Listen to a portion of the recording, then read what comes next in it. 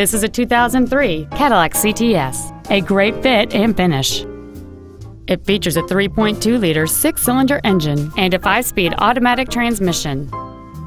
Features include aluminum wheels, a power driver's seat, heated side view mirrors, a CD player, leather seats, performance tires, an illuminated driver's side vanity mirror, a traction control system, keyless entry, and cruise control.